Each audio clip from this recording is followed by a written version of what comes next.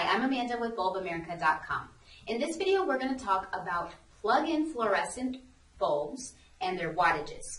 Now, their wattages and their bases actually go hand in hand. So I'm going to go through the different wattages and the different bases so that you can understand uh, more clearly how to choose the correct bulb for your fixture.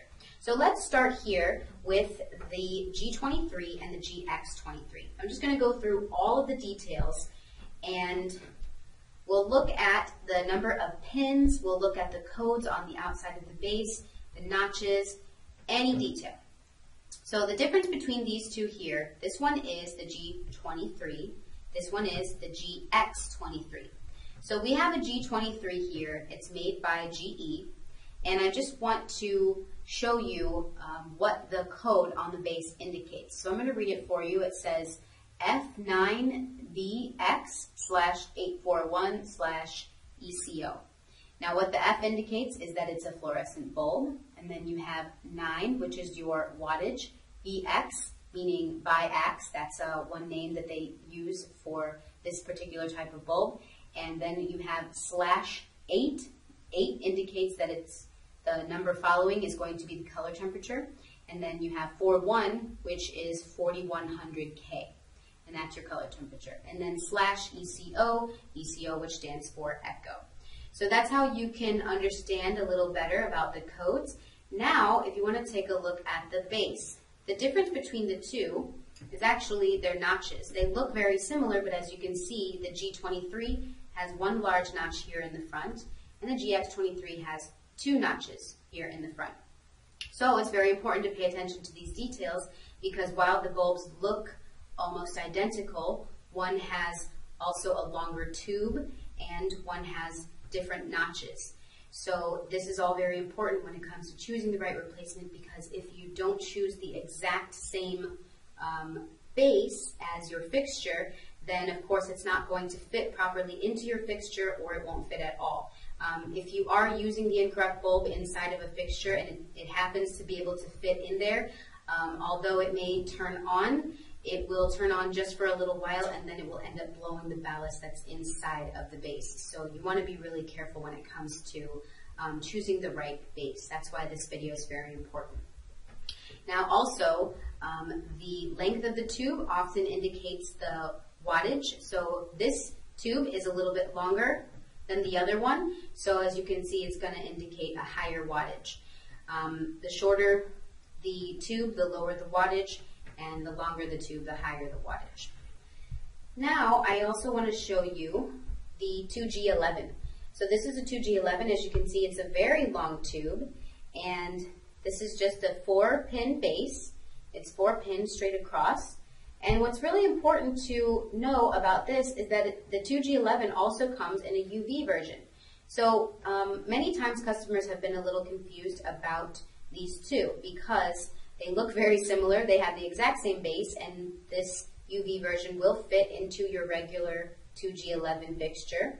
However, this UV is used for only special applications. So if you do not need a UV bulb, um, then you don't need to purchase this one. This is for things like um, medical use, sterilization, water, pur water purification, and things of that nature.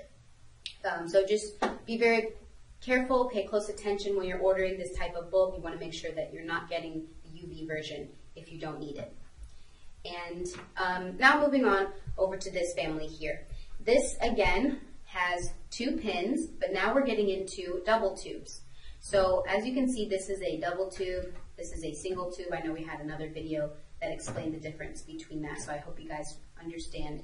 Um, now this has two pins once again, and also it has one notch, one large notch here in the front, but on the other two, you'll start seeing smaller notches. So this has a smaller notch here just at the top of the base. Same thing with this one, it has it on the opposite side. So that's another detail to pay attention to. Now we have a little bit more variety, so I just wanted to show you um, the different wattages. This one here is a 9 watt. As you can see, it's got a low wattage and smaller tubes. This one here is an 18 watt. The tubes get a little bit larger. And this one is a 26 watt. And as you can see, this is, this is the largest one of all of them. Um, so Next, we have the G24Q-1, 2, and dash 3. And um, these are four pins. So as you can see, there are one, two, three, four pins here on the base. Again, you want to pay attention to the notches. This one has a smaller notch here in the center. This one has it, um, you'll, you'll either see the notches in the center or to the left of center or to the right of center, or they may not have a notch at all. So it's just very important to pay attention to all of the details on the base. And over here we have the triple tubes. These are four pins as well. Again, you want to pay attention to the notches. This one even has um, two notches side by side. So that's very important all around. Every single detail that you see on the base uh, will help you to choose the right one. Now we're going to summarize the details that you need to look at in order to choose the correct base. So you want to start with the number of tubes, whether you have a single tube or a double tube or a triple tube or even a quad tube, which is four tubes. So you have the number of tubes. Now you want to look at what type of base you have. So each base will have a different number of pins. So this is a single tube with two pins.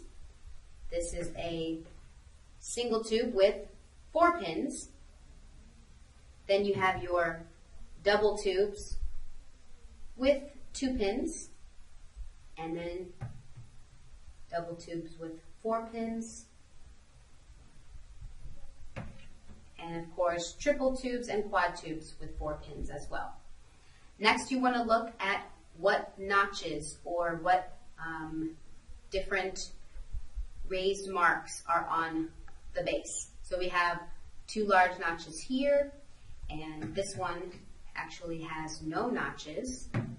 Some will have these little raised notches here, the smaller ones, and they'll have them in different positions, whether it's in the center, to the left, to the right. You want to make sure you're paying attention to where these notches are.